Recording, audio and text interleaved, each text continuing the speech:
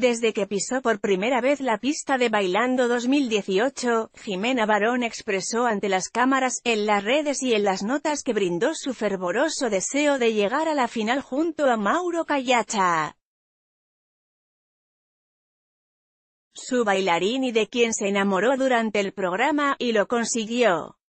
Visiblemente emocionada por estar en esta instancia, la participante expuso sus sensaciones en esta noche especial, estoy muy emocionada, sinceramente me cuesta hablar. Estoy feliz. Primero quiero pedir perdón por la cara con la llego a la final, me da un poco de vergüenza.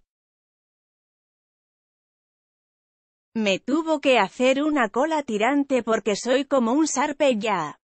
Estoy como arrugada, demacrada, los lunares son granos, herpes. No puedo creer, son un mundo de sensaciones adentro. Hace 22 años que laburo y pasé por todos los estudios de televisión, de la Argentina por lo menos, de Buenos Aires. Y lo que se siente en esta pista no se siente en ningún otro lugar. Es una cosa increíble, agregó. Para mí fue un mega desafío intentar ponerme a altura de Mauro y Mati Napsutsoch.